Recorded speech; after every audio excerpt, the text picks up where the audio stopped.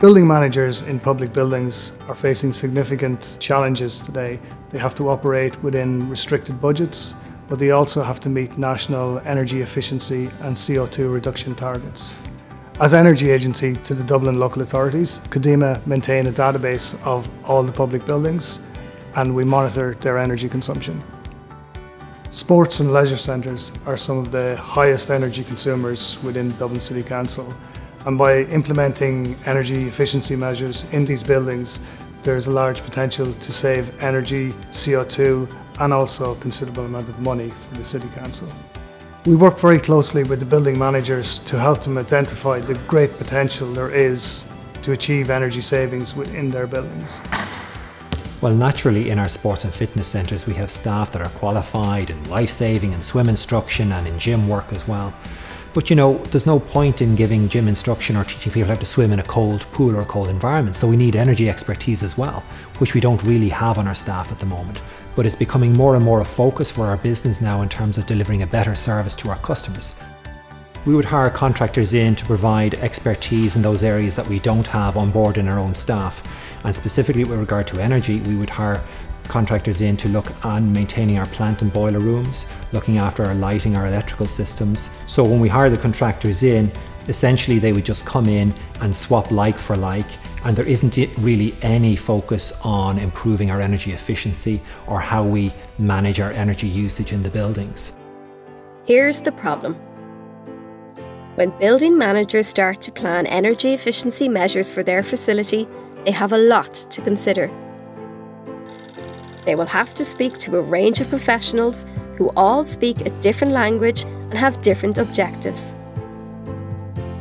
The building manager receives separate quotes for each work and has to carefully balance the existing budgets for the upgrades. Additional funding can also be difficult to secure. Even if the building manager goes ahead with these energy efficiency measures, the contractors often work in isolation and don't think about the combined benefits. This can all distract from the day to day running of the building. Once the contractors have completed their work, the responsibility is back on the building manager to maintain the facility and ensure energy savings are achieved. Codema is currently a partner in a European co-funded project by Intelligent Energy for Europe called EESI 2020. The purpose of this project is purely to focus on promotion of energy performance contracting in public buildings in Europe. And through this project, Codema gains by working with experts in energy performance contracting across Europe. We see EPC as a real game changer in building energy management. In Ireland, Codema act as EPC facilitators, which means we will help building owners identify if their building is actually suitable for this type of contract, right through to the signing of the actual contract.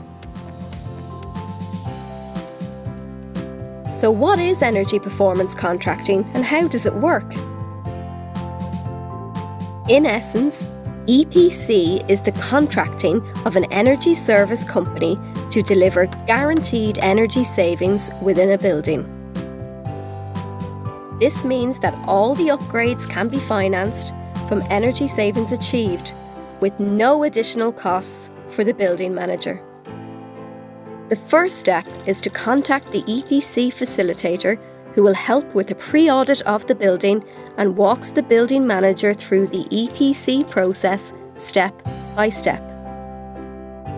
The EPC facilitator assists with the preparation of the tender document, which is published on a public tendering platform. Together with the EPC facilitator, the building manager enters the negotiation process with different energy service companies, or ESCOs. The contract is awarded to the winning ESCO, and the energy savings are agreed for the duration of the contract, which is typically between 6 to 15 years. The ESCO can now proceed with the implementation of energy saving measures, which must be delivered as part of the contract. If the guaranteed savings are not achieved, the ESCO must pay the building manager the difference. The building manager immediately benefits from improved comfort levels in the building and reduced CO2 emissions. The ESCO will work in partnership with the building manager for the duration of the contract by conducting monthly assessments and ensuring that energy savings are on track. Well, the main reason we chose EPC is that we can actually forget about it. I mean, we're leisure centre managers, so what we want to do is manage our leisure centres in terms of providing the service to our customers. And EPC means that we can save time, we can just call one energy efficiency expert who's going to make sure all of our energy requirements are met, and it's going to save us money as well. So it seems like a pretty attractive option to us as leisure centre managers. We've chosen three of our largest sports and fitness centres to implement EPC. We've chosen Ballymun, Finglas and Markievicz. We believe they're a very good fit based on the energy audits that we've had carried out independently.